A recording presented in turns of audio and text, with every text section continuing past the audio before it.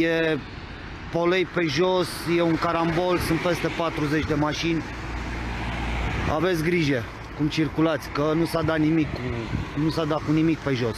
În imaginile surprinse de mai mulți trecători se vede dezastrul de pe centura ocolitoare a Brașovului.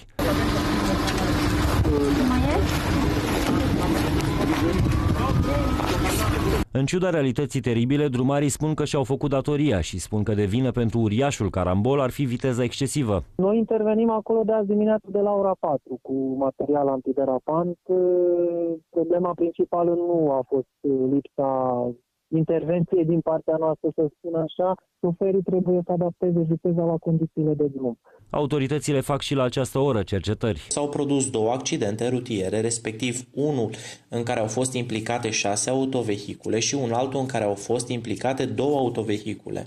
De asemenea, pe acela sector de drum s-au înregistrat și câteva evenimente rutiere, tamponări fără victime. Am intervenit cu trei echipaje smurt, au mai fost două echipaje de rasaj, o autospecială de descarcerare și una de stins incendii. Au fost patru victime conștiente, toate transportate la spital. O situație similară a avut loc în dreptul localității Argeșene Mihăiești, unde două mașini s-au izbit puternic pe fondul drumului alunecos.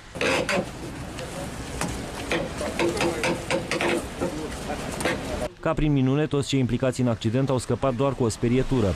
Eu am încercat să dau de volan ca să le evit ca să pot să trec și m-a aruncat Din cauza accidentului, traficul în zonă s-a desfășurat cu dificultate pe drumul care leagă Piteștiul de Brașov.